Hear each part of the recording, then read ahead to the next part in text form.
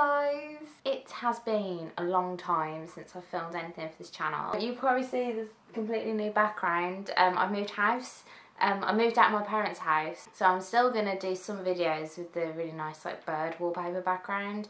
But for the moment, we're in my bedroom with the cute fairy lights. Today we're going to be talking about five books that changed my life. As you probably know, I am a big book geek. I love reading. I've got a degree in literature. Pretty much seals the deal. I thought I'd just talk about five books that like completely changed my life and how I look at the world and pretty much made me who I am today. Wuthering Heights by Emily Bronte. This is a really battered copy and some of it has got writing in it somewhere I think. Um, so Wuthering Heights was something that I studied in sixth form uh, English literature. I never had any intention of reading Wuthering Heights. I'm not into classic books. Um, I much prefer. I'm not into classic books and I much prefer kind of science fiction. But Wuthering Heights is on the reading list and my teacher decided that that's what we were going to read for our exams. So we all bought these really like, Twilight was really popular at the time. So the whole class ended up buying like these really weird Twilight style versions of Wuthering Heights. The reason I love the book so much is because it's kind it's not really a happy ending. It's really dark and twisted and it's got a really weird atmosphere throughout the whole book. The whole book is set in the moors so it's really isolated and the characters are all kind of extreme personalities. The dynamics between the main characters is just insanely good and if you haven't read Wuthering Heights and you want like a dark romance novel then this is the one for you. It was life changing for me because it was kind of the first classic book that I thought oh my god this is actually interesting. So Emily Bronte you got me into classical literature thank you very much. A favourite of a lot of people. Curious Incident of the Dog in the night time. It's probably one of the first kind of novels that I actually sat through and read and read again and again and again. I'm one of those people that can read a book a hundred times and never get bored. So the story follows a young boy called Christopher. It's been a long time since I've read it. And Christopher has um, learning difficulties and he uh, he's kind of he can't really see the world the way everyone else does. He's got a form of autism. I can't remember what it is. Anyway, he ends up finding his neighbour's dog dead on the lawn, and the story kind of follows him uncovering the mystery of who killed the dog. Um, the reason that I love this book so much is because it was the first kind of novel, like I said, that I actually sat and read and thought about. And it gives you a lot of food for thought because the Christopher doesn't see the world the way a lot of other people see the world. So it's interesting how the author captured that kind of point of view and how that has a huge impact on the story and how you can relate to the characters and how much you empathise with Christopher and his whole um, story that he's telling you through his book.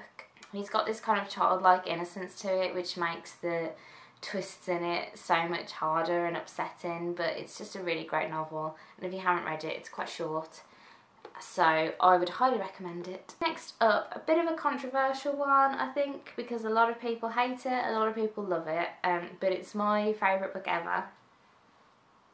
It's The Time Traveller's Wife. I actually, this was kind of before I became obsessed with books. I went to see the film um, and I really liked the film for some reason because the film is awful. But I remember really liking the film, and then I saw on the adverts that it was a, a book as well. I remember asking for the book for Christmas, and um, I got it, and I was amazed at how fat it was. I had never read such a chunky book in my entire life. What actually happened when I read it was I fell head over heels in love with this book. The narrative split between a few characters, which is really interesting because you get a lot of sense of frustration throughout the book and you know really trying to make a relationship work when it's it's really struggling. A lot of people don't like it because kind of the morality is questioned a lot in it um, and the actual kind of realistic side of it obviously it's about time travel but some of the stuff in it is a little bit um, over the top. First book that I stopped when I finished it. I was like heartbroken, and I just wanted to like not read a book ever again because I was not over. I was grieving this book. Um, so it's kind of the first book that I fell in love with, and it started my obsession for books. A book from my childhood, um, and that is a series of unfortunate events. I remember at the time I loved the fact that there was like this big mystery surrounding the novels. Nobody knew who Lemony Snicket was. And the books were just really, really like miserable, which I really enjoyed. As an adult, I actually did uh, my university dissertation on a series of unfortunate events, and I love how Daniel Handler, who actually is Lemony Snicket, um, I love how he writes and how it's quite quirky. Basically follows the story of three orphan children. Their house gets mysteriously burnt down along with their parents, which sucks. In this book, they get sent to live with Count Olaf, who is their terrifying uncle, cousin, distant relative, I can't really remember. It turns out he's not really interested in the kids and he's going to try and kill them to get their fortune. So they keep trying to escape and the series follows them as they go through various foster parents. I just really liked the mystery aspect of this and um, it was the first book that kind of it, it is different to other books like it's got really stupid quotes in it and things that kind of like you read it as an adult and think, oh god, that's so true.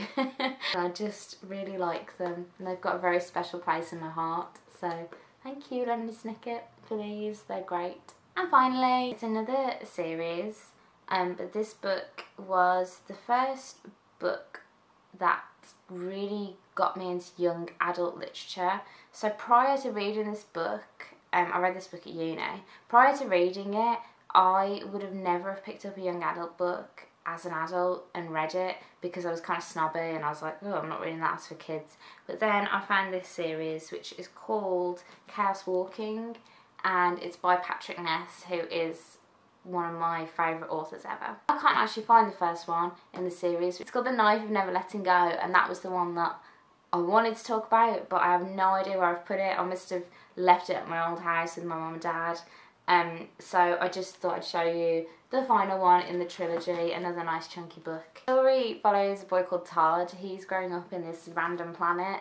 Um, it's kind of like a science fiction. Everyone can hear each other's thoughts. He's the youngest of the town and he's about to go through this kind of um, coming of age.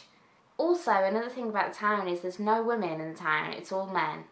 And they can all hear each other's thoughts. So, um, as he's walking around the woods, he bumps into a spaceship and he bumps into a girl who runs away. He goes back to the town and the town has gone mental. story then follows Todd and this girl who's called Viola um, and how they try and escape the mayor, the evil mayor who's coming after them and there's a lot of um, there's a lot of things in this book that are just amazing. I think one of the reasons I fell in love with it is because I just before, like I said before, I read like young adult fiction. I just couldn't comprehend that it could contain so many deep issues. I just thought those books are for kids. They're really boring. They're not going to entertain me. But the Knife of Never Letting Go and the whole Chaos Walking trilogy brings up so many talking points.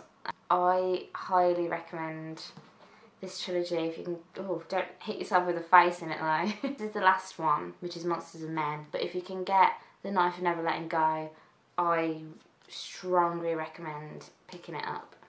Patrick Ness is a really good author. He's got a really amazing way of capturing characters that makes them really likable and they've all got their own individual personalities.